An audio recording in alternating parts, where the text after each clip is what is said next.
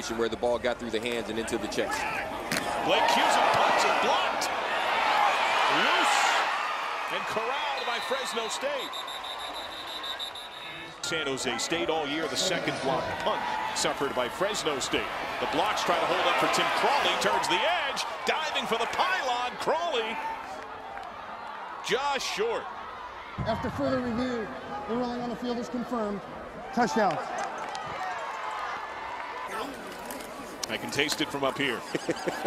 they sold out on the fake.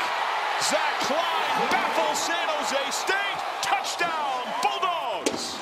Field goal attempt.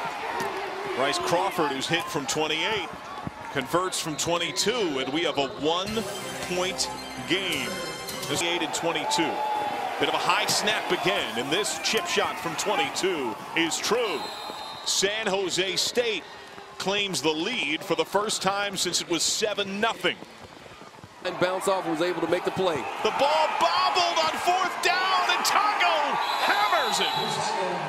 Christian Tago, San Jose State senior, was right on the spot. Bobbled snap on fourth down.